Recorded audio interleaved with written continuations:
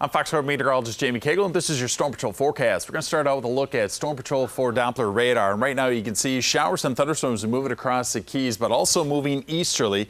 And it looks as though for these morning hours, we're going to find most of this rain taking aim at the southern tip of the state. Mainly dry conditions, it looks like up until about maybe 11 a.m., 12 noon.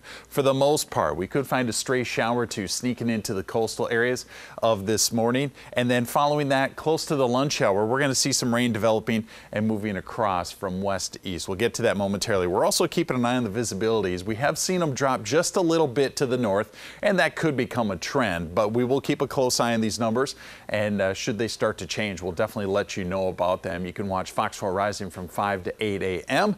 And here's your day part planner, mid 60s and looking like partly to mostly cloudy through the morning hours, mainly dry conditions. Then we set up for the showers, and those are going to be primarily inland for today.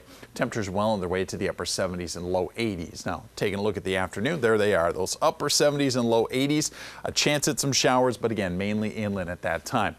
Looking at the bigger picture right now, an area low pressure is going to be moving across the Gulf Coast states, the southern plains, and into the mid-Atlantic over the next 48 hours. And it's going to bring some severe weather potential, a great amount of it, to the Gulf Coast states. You can see between Louisiana and the Florida panhandle, that's our greatest risk for severe weather for today and for tomorrow. It does include parts of southwest Florida in that uh, marginal risk right now. A greater chance as you look to the northern half of the state. So tomorrow with a line of showers and thunderstorms coming through, there is going to be at least a slight risk or a marginal risk, I should say, for that severe weather. Here's your Storm Patrol forecast.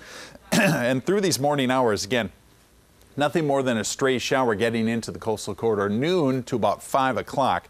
That's when the rain moves from west to east across the area. Clearing trend taking place and then into the overnight hours. Clouds on the increase and then here are showers and thunderstorms for tomorrow very close to the lunch hour for that to happen. For today, though, looking for those low 80s, partly and mostly cloudy skies, and then that clearing trend taking place through the afternoon. Mainly inland afternoon rain west to east. And then tonight, clouds on the increase for the overnight hours, the mid 60s and mainly dry. We will have the showers and thunderstorms approaching tomorrow with that cold front. And again, a marginal risk for the severe weather. Could be some strong winds associated with it. A lot of sunshine following that cold front, and the temperature is still taking a bit of a dip.